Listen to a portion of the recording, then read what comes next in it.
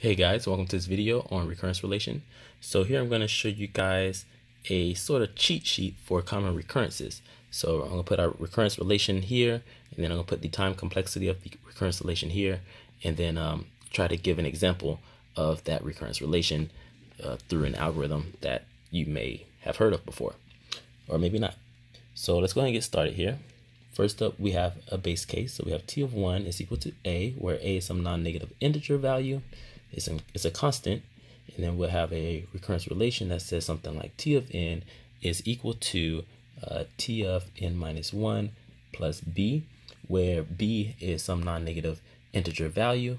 And that means that t of n belongs to big O of n. And an example of this uh, would be the linear search algorithm. So I'm gonna put linear search here. And next up, let's look at another uh, recurrence relation. Uh, like t of 1 is equal to a. Again, a is a non-negative integer value. It's some constant variable. And then we have t of n is equal to uh, maybe t of n minus 1 plus b times n. Then the time complexity for our t here would be uh, big O of n squared. And a good example of this would be the quicksort algorithm. All right. So let's take another look at a, another recurrence.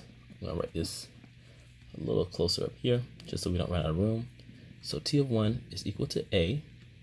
And then we have our recurrence relation that says t of n will be equal to uh, t of n divided by 2 plus b where of course a and b again are uh, constants, non-negative integers, uh, non-negative integer values, and um, the time complexity here will be big O of n times log n.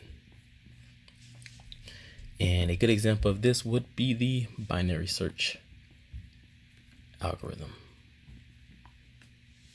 Okay.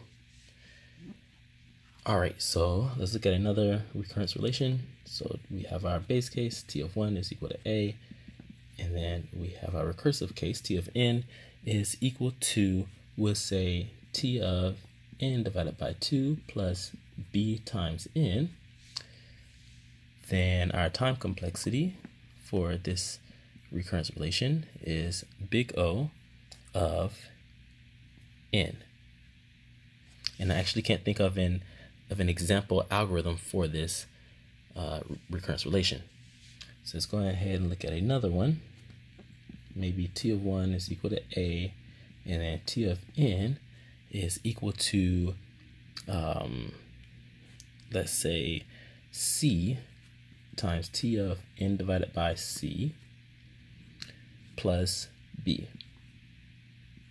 And c is some constant, um, and some non-negative constant, then t of n belongs to big O of n. And I can't think of a popular algorithm right now off the top of my head that has this recurrence relation. So let's just move on here. Let's say we have t of 1 is equal to a for our base case. And then we have uh, for a recursive case, t of n is equal to c times t of n divided by c plus b times n. Then the time complexity for t of n is uh, big O of n times log n. And a popular example for this would be the um, merge sort algorithm. Okay. And then we're going to do one more. Let's say we have a base case. Uh, t of 1 is equal to a. And we have another base case, t of uh, 2 is equal to b. And then we have our recursive case, t of n is equal to, um, let's say t of n minus 1 plus t of n minus 2 plus d, where d is some non-negative integer value. Then the complexity here is t of n belongs to big O of 2 to the power of n. And a popular uh, algorithm here would be the uh, Fibonacci the Fibonacci uh, algorithm. And I'm hoping I'm spelling that correctly. So thank you guys. I hope you enjoyed this video. Please leave any questions you have, likes, comments. Uh, don't forget to subscribe. And I'll be sure to put uh, some more video links that I have on recurrence relation in the description below. So be sure to check those out. And as always, thanks for watching, and I'll see you all in the next video.